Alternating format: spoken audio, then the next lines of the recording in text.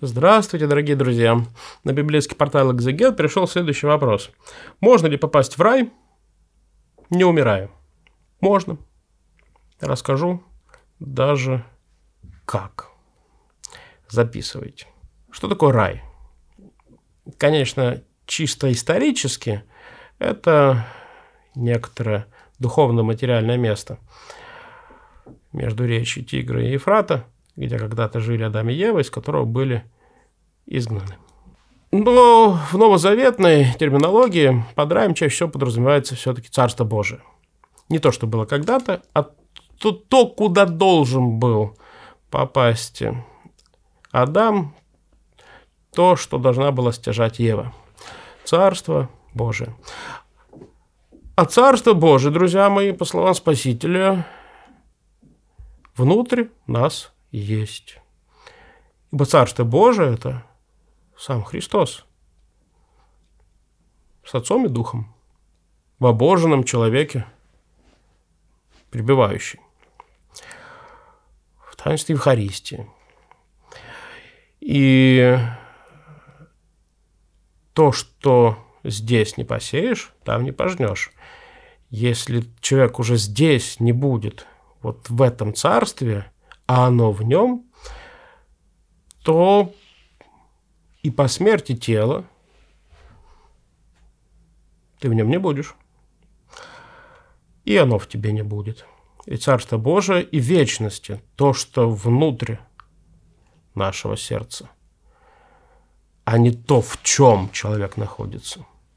И ад заперт изнутри, а не снаружи. Это состояние души человеческой, вечности пребывающей. Как со Христом в Царстве Божьем, так и сатаной в аду.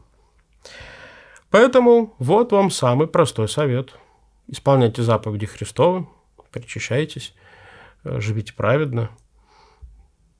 Как минимум не делайте другим того, чего не желаете себе. Возлюбите Господа Бога и ближнего своего, как самого себя. И вот Царство Божие внутри вас будет.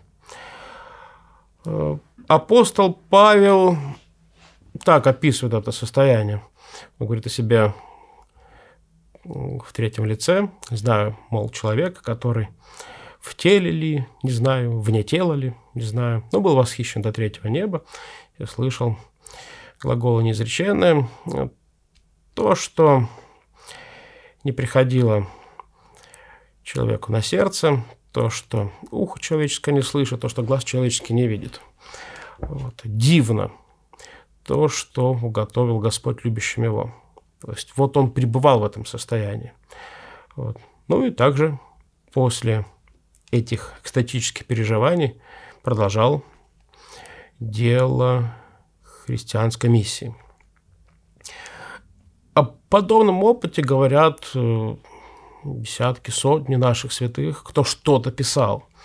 И преподобный Серафим Саровский, ближайший из нас, э, Силуан Афонский, тоже преподобный, преподобный Паисий Святогорец, все святые отцы Древней Церкви, особенно монашествующие, те, которых церковная традиция назвала великими, Сисой, Пимен, Василий, Григорий Богослов, Симеон, новый богослов – Почитайте, узнаете, э, что пишет, что говорит, как передает вот это ощущение Царства Божьего, приходящее в силе здесь и сейчас.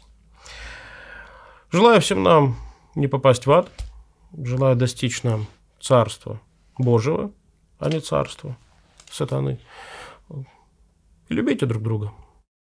Внеси свой вклад, оцени, подпишись и поделись этим видео.